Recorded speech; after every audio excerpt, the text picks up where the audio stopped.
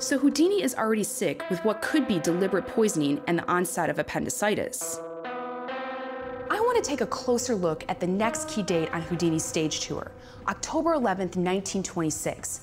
It's just 20 days before he dies. Houdini is in Albany, New York, where he has the next in a series of bizarre misfortunes. This time, a disaster involving his most notorious invention. Ah, Dave, there you are. What is this? This is a water torture cell. This was invented by Houdini as a really nasty escape. This was a sealed unit. There was no false bottom. It had water in it, maybe up to here. Houdini would be shackled by his ankles into the lid, locked securely. He would then be hoisted high, upside down. So he's chained, he's lowered into this tank full of water, and then he has to escape. Absolutely. Curtain draws across, and so the struggle begins. So he would ask the audience to hold their breath, see how long they could do it. You'd hear gasps from the audience after 30 seconds, a minute, Wow. two, three minutes. The audience would be whipped into a frenzy. They'd be demanding that the two stagehands with big axes go and break in, release him. Houdini's going to drown. For years and years and years, people thought that's how he died in the water torture cell. But that is a complete myth invented by the movie Houdini in 1953 with Tony Curtis. the incomparable Houdini, who amazed the world with his fantastic exploits. The director famously created a better death for him. In that movie, he dies in the water torture cell. The water cell may not have killed him, but like most of his tricks, it was incredibly dangerous. He actually was doing things that were very much on the cutting edge.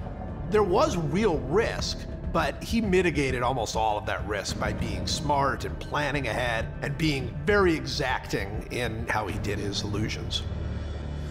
Houdini's most favorite phrase My brain is the key that sets me free. No fear.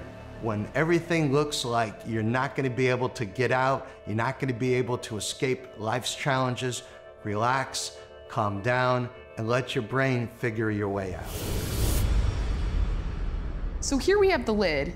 How did he do it? This is my take on it. Okay. As he was lowered in and the lid was put on top, his two assistants made the secret move. All right, If you look ready. at the hinge there, there's a pin. oh yeah. And you can just ease it out, Oh, pull it out. Look at that. The curtain would then drop. Okay. Houdini could push with his feet. Oh wow. It lifts. He could climb out, close the lid behind him. Impressive. Really impressive. I mean, him holding his breath wasn't a trick though. No, not at all. And having the agility and suppleness to be able to turn around in that small, confined space takes some doing as well. Yeah. And then have the strength remaining to pull yourself out. Absolutely. It is incredible.